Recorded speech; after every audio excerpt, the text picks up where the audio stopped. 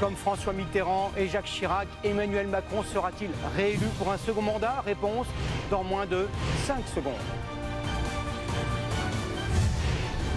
Il est 20h et vous le voyez, Emmanuel Macron est réélu avec 58% des voix. Premier président sortant de la Ve République à être réélu hors période de cohabitation. Le suspense touche à sa fin. Vous pouvez voir les secondes s'écouler sur notre compte à rebours.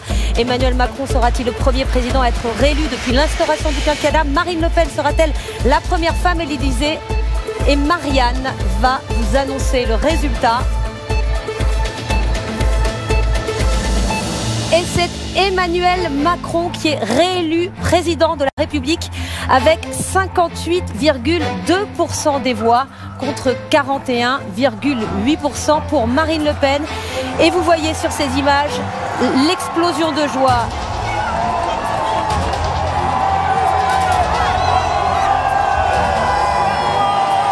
Voilà, il est bientôt 20h. Vous voyez, le rideau commence à se lever sur la révélation de ce Soprasteria. Et le nom du vainqueur de cette présidentielle 2022 va s'afficher maintenant. Emmanuel Macron est réélu avec 58,2% des voix d'après notre estimation. Ce qui veut dire 41,8% pour Marine Le Pen. Image tout de suite en direct. Il est 20h sur CNews et sur Europe 1.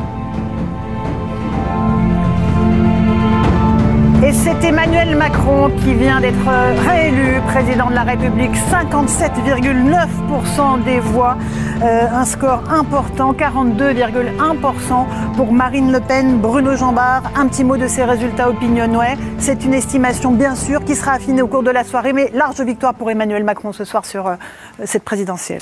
Qui de Marine Le Pen ou d'Emmanuel Macron vous aurez choisi pour diriger la France dans les cinq années qui viennent? C'est Emmanuel Macron qui a donc été reconduit à la tête de la France. Emmanuel Macron qui arrive en tête avec 57,6% des voix. C'est donc le choix de la continuité qu'ont fait les Français. Vous voyez ces images de l'IS à l'instant, ces drapeaux qui s'agitent au champ de Mars. Emmanuel Macron réélu donc avec 57,6% des voix.